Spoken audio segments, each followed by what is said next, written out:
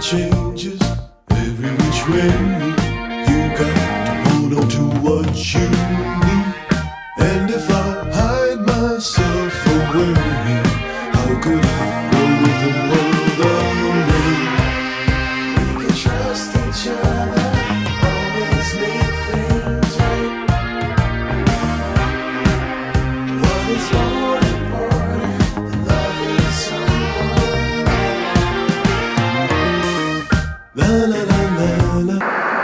this is George Edmondson with MotionVFX.com. Today we're looking at mRetrovision.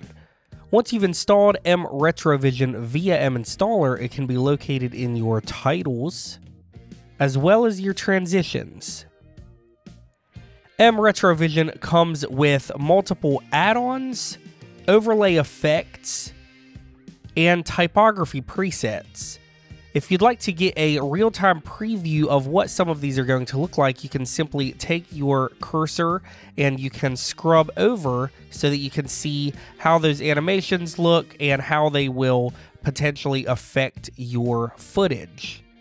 Now, a lot of these are working as adjustment layers. Let me go ahead and show you really quickly how our intro looked, and then we can get started with making a few of our own compositions. So as you can see here in our timeline, this was the intro that you just saw, and we do have this going over top of the entirety of our clip with these three layers here. We have a soft focus color look. I'm going to tap V so that you can see what's going on here. Now, with this, we also did a quick trim on the left and right sides to give it that 4x3 look. So you can see how that's affecting. Then we have film dirt, which you can't see it really right there, but it is very subtle and it is just adding a little bit of dirt and uh, some grain artifacts and such over top of the entirety of our footage. And then we do have a grain filter that is just making that super smooth footage not so super smooth because we do want this to look a bit retro. And then as you can see, we have several titles. We have a camera lens effect here that we used, some laser lights, and titles there at the end, and then we used the just the pure grain and flicker over a gap clip to create this sort of weird transition into our tutorial. All right, so why don't we grab some footage and we will get started making our own composition. So I'm just going to grab all of these clips. I'm going to tap E to add those in, and then we can take a look at how these are going to be affected. So again, up in our titles, these are working as adjustment layers, and if we want to get a real-time preview, as we said earlier, we can just scrub over so that we can get a quick look as to what they're doing. So how about the first thing that we do? Let's just take a look at our add-ons up top. You can see here that we have some ghosting, a frame, some glass. So why don't we just click and drag our glass element on top of our clip? And you can see how that is being affected there on screen. And then if we wanted to add any sort of title or grid or frame over it, we could do that as well. So why don't we take a look also at our add-on paper scrape, which is really neat. We can drag it in over top and then we're going to have our glass and our paper happen right here. Again, on screen controls for position, scale, and rotation. Over in our inspector, we have all of our animations and position parameters, and then we have our mode for either drop zone, we can have background footage, or we can have solid color. So why don't we just use our drop zone there now you can click footage over in your library sidebar or in the timeline directly. So why don't we just click in the timeline directly and then you can see that that is being reflected there in our drop zone. So I will apply the clip and now we've got that really cool paper. It's like a still frame thing happening going in and if you wanted you could drag this over just a bit, turn off our animation out and then boop, it goes right into the shot. So that's pretty cool. So now we have our frame animates in and then bam, like a hard cut into our scene. So as we scroll down in our titles, we can see some more of these overlay effects. We have overlay effects filmic and graphic. So what if we wanted to add a bit of a film burn over this shot? I think that it could uh, really use it here. It really looks good, has that vintage looking style. And then over in our inspector, we have our burn that we can toggle on and off. We have our opacity here. So if we wanted to bring that down just a bit, uh, we have our burn size, so that's going to affect how much of the clip that we want. I kind of like it going over the entirety of the clip there. Our hue, now we can show you what that looks like, but honestly, the hue is kind of perfect with the color scheme we have going on. We have our saturation, brightness, glow, our blur, we can flip that over if we wanted it to be coming in from the other side. We have wriggle, wriggle amount. I mean, you really have all of the parameters that you need to tune this however you'd like. And then a bit of grain parameters there in the bottom. Now you are able to overlay these as we did in our intro. So if we wanted to also add a little bit of, let's say we've got this glass prism here. If you wanted to overlay this, then you have this really crazy kind of cool look. They are in stacking order, so if I brought that glass prism below, you can see how that is affected differently. We have on-screen controls here for, again, position, scale, and rotation. So let's just say that I wanted to kind of scale that out so the goal here is to just make her be kind of the primary focus. So we're just using those on screen controls. And then you can see we have that nice dreamy look. We have the film burn going on as well as the glass prism effect. And then we can go down and we've got our graphic. So if we wanted to do some sort of a crazy double exposure, we could do it. If we wanted to do a double vision, we could add a little bit of grunge. I think that would look cool. So why don't we bring that down over top?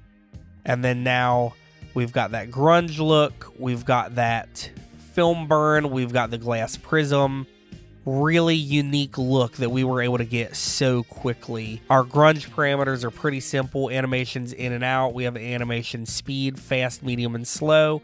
Then we have opacity, blending mode, and our shadows and highlights. So really quickly, I mean, that looks super cool. I love it. Let's continue down. We've got some trees that we kind of shot this just wild looking stuff here. And again, you can see what we're doing if we wanted to grab our multiple displays just to show you that really quickly. We are just displaying that over top of our trees. We have animations in and out and all of our uh, parameters here. Now, if we wanted to change the drop zone, we could use the background. We could change that to drop zone only and then fill that with whatever we'd like. We have all of the drop zone parameters beneath if you choose to use the drop zone. We have our prism parameters, blurs, bad TV, etc. We can toggle the background on and off if we'd like. Change the background opacity. You can change the color and then we have shadow. All right, moving forward. So this is a fun little clip here. It's quite long, so let me just find where we want to be. There we go. We pop up like a couple of goofy kids, and then we are into our next shot there, which is just throwing a football around. Great. So, as you can see above, we have all of these different looks as we said earlier. We have these graphic looks. We have this stencil which is kind of neat. We can drag it over and then we've got this kind of bleached out highlights. And we just have this kind of stencil overlay animation in and out. We have our threshold here. We have our threshold smoothness overall smoothness our shadows threshold and you can see how that's being affected and that's really affecting the grain as well. And then our shadows range. We have grain opacity beneath grain brightness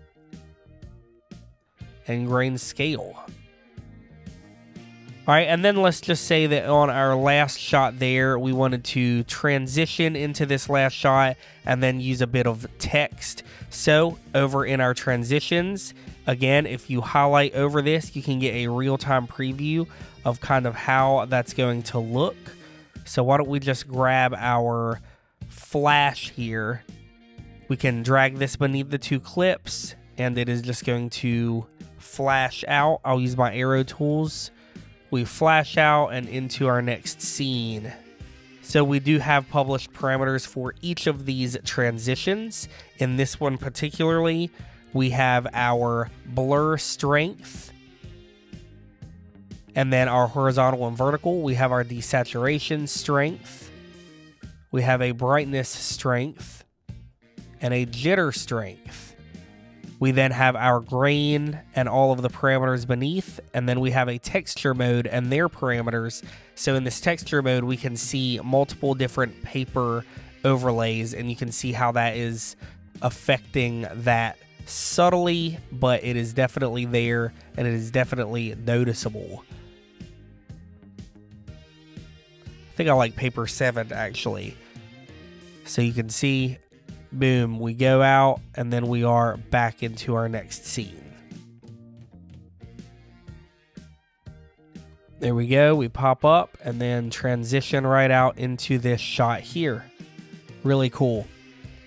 So why don't we do a quick overlay on this just to give it a good look and then we can do a title. So why don't we use why don't we use a bit of flicker here? Can just have this flickering can use some film dirt. I just love stacking these quickly and seeing what I can come up with. Uh, channel ghosting. Let's see what we got here. And there you go. How quickly we were able to just throw some stuff together. And we've got this really cool kind of ghosty look there. And there might be too much going on, to be honest. So why don't we just transition in. So now we can see how that stencil then transition into everything that's kind of going on there. Really cool. And we can add a title on top. So again, for our typography, we can just quickly scrub over each of these to get the look that we're going to want. I really like this title number 10. I think it's interesting. So we're just going to drag it on top. And then we have, once again, on-screen controls for position, scale, and rotation. I'm just going to scale that up nice and big. Over in our inspector, we have our different animation parameters and the position, rotation, scale, and opacity. And then in our title, we can toggle that on and off. Or we can make changes there if we would like. As we continue down in the inspector, we then have our subtitle. We can toggle on and off and make changes there as well. Below each of these are our fonts, sizes, alignments, etc. And then there's a few more things that we can do. So we have our blur that we can toggle on and off along with their parameters. If we would like to add a shadow, we can do so here. I think for this scene, having a shadow actually is nice as it helps separate the background a bit more.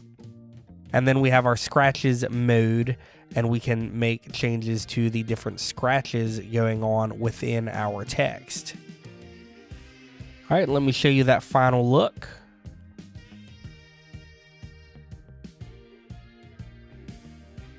And there you have it. Thank you so much for checking out this tutorial on mRetrovision. It is now available on motionvfx.com. Be sure to subscribe and we'll see you on the next one.